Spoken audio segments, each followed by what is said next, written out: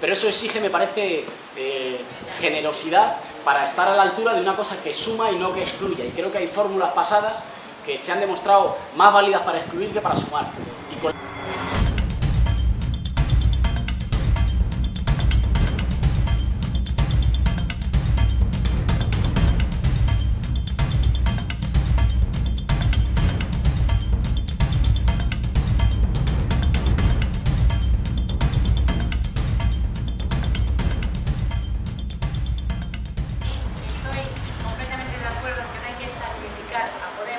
Por no presentarse en todo España en la municipal.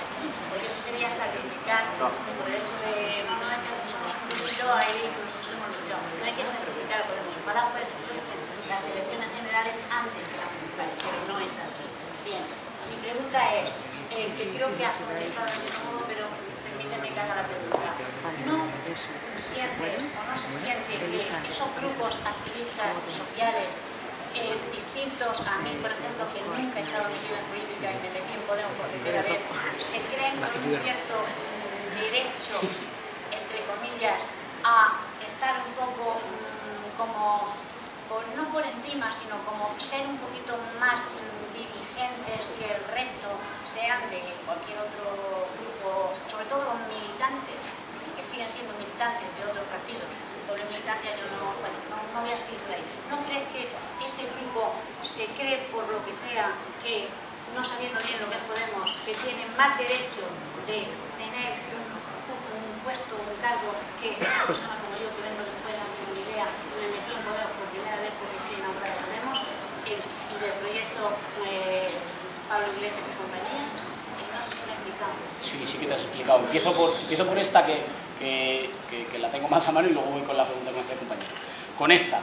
em, creo que... em,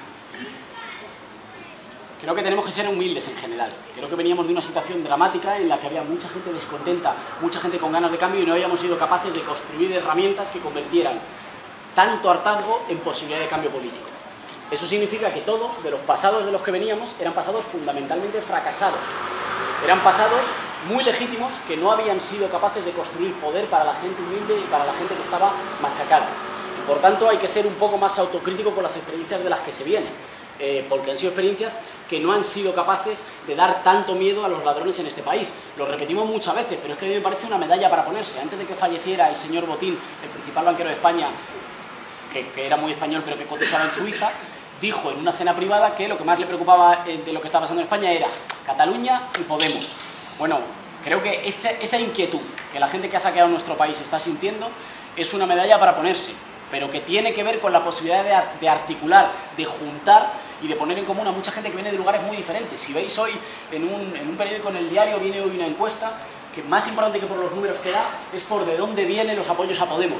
Y dice que creo que es 17,9 de apoyos a Podemos, de la gente que hoy dice que votaría a Podemos, vienen del Partido Popular. Eso y el 24% del Partido Socialista. Eso es lo más importante. Que no estamos agrupando a la gente que se ubica en un margencito pequeño que está muy orgullosa de ser muy pura y de que nadie le haga caso. No. Estamos agrupando una mayoría de ciudadanos que vienen de lugares muy diferentes. Y es normal que lo hagamos, no solo porque así se gana, sino porque son nuestra gente, son nuestro pueblo, con esa gente es con lo que vamos a construir. Pero eso exige, me parece, eh, generosidad para estar a la altura de una cosa que suma y no que excluya. Y creo que hay fórmulas pasadas que se han demostrado más válidas para excluir que para sumar.